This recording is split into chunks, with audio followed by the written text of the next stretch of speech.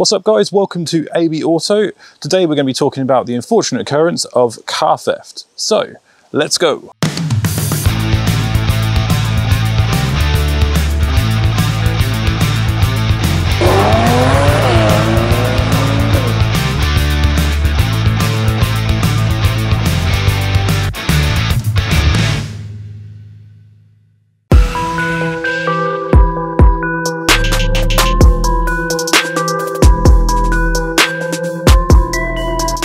As you guys saw from that montage, the C43 is an awesome car, very, very desirable. But the only downside is desirable, awesome cars get targeted by thieves.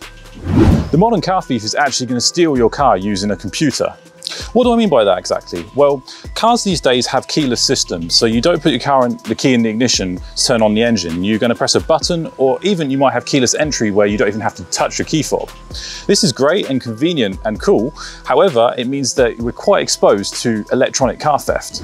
So how does modern car theft work exactly? Well, what will happen is, is the thief will sit outside your house with a computer, and then he'll wait until you've gone to bed, and then he'll run a scan on this little device, and this, this, this device, it will pick up your key fob inside your home and then he'll be able to extend the range of your key fob and then he just walks up to your car and opens the door and that's it, he's in. And then he's got the data of the key, so he starts the car and he drives off and you wake up in the morning, you look out for your lovely car and you're at shock because it's disappeared.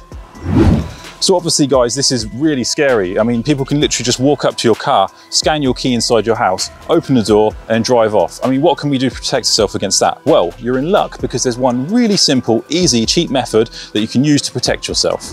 So the way I protect my car from thieves like that is using this small little pouch here. Very simple, very cheap and affordable.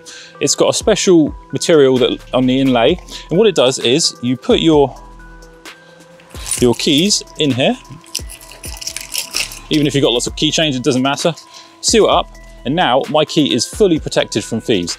No, the key is not going to be able to be transmitted outside this. Um, we're going to prove this now. We're going to take this in the car and we're going to see what happens when the car key is in the car in this pouch. Okay guys, so let's go into the car now. I've got the key in my hand. Right guys, we're in the car now and we've got the key here and we've got the pouch. So what we're gonna do first is we're going to try and see what happens if I try to start the car with the key in the pouch. So first thing we're gonna do is put the key in the pouch and seal it up. Now we're gonna go down and we're gonna see if we can turn on the ignition. So ignition here, let's see what happens. Holding our foot on the brake. Nothing's happened. So if we focus in there, it says place the key in the mark space, see owner's manual. So what that means, it's not detecting the key in the car because it's in the pouch here, so I can't start my car. So as you can see, the pouch works really well there. So what happens if I take the key out of the pouch, then start the car, and then put the key in the pouch once the car's been started? Let's see.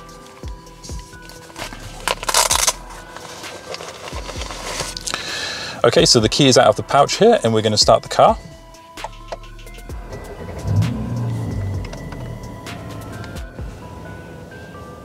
Okay, so the car is started up, the engine's running, we've got the key here, everything's going well. So we'll put the key in the pouch now and we'll see what happens to the car. Okay, key is now in the pouch.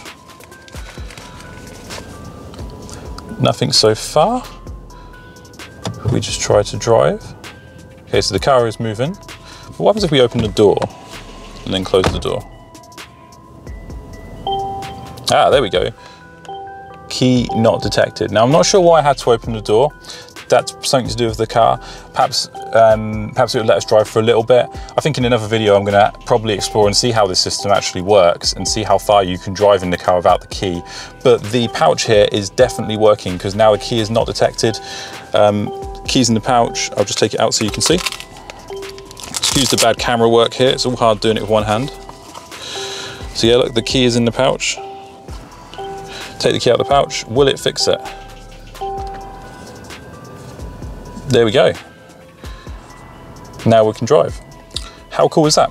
So yeah, um, just wanted to make this video for you guys. I know a lot of my subscribers own these cars now. Some of you have got them on order. And it's really important for me to make sure that you guys know that there's simple, cheap ways to protect your car from theft because obviously as someone who's worked really hard to afford this car in life, um, I'm only 30 years old, so this is a massive deal for me to own one of these.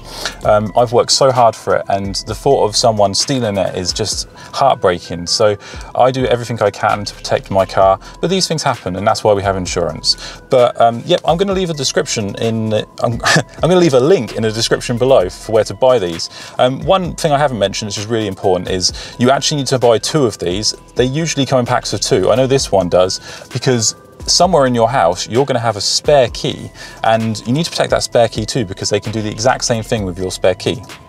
So, I uh, hope you enjoyed this video guys, I hope it was helpful. Um, please hit that like button, um, it really helps out the channel, gives the videos more views. And if obviously you're new to the channel and you like my content, then please subscribe. Uh, we're growing fast, I love you guys, I love the car, I'll see you next time.